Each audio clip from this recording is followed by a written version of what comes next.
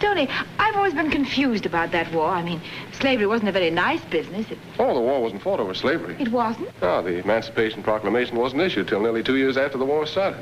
Two years. And that was just a smart political move to keep outside countries from helping the Confederacy. You see, that prevented England or, or any other country from helping the South. It looked like they condoned slavery, which they didn't. Oh, can you imagine that? And I always thought That that was slave... just as phony as most war slogans like, uh, make the world safe for democracy. Remember that one? Yes, I remember it.